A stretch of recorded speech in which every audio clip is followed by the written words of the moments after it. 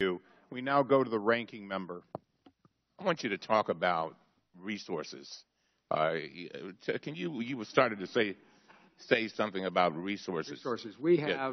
a wide range. How does that affect what you do? Uh, what it affects is that we have a wide range of responsibilities. The IT budget has been cut by over $100 million over the last four years.